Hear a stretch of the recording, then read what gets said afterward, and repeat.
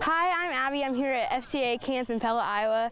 Um, I just like to share a ver- one of my favorite verses with you today. It's Philippians 4:13. I can do all things through Christ who strengthens me. I just like to say to everybody back at home that I love you and can't wait to see you.